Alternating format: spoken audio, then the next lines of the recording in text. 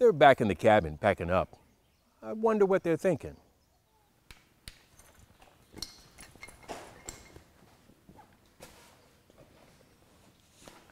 Oh man, remember this? I sure do.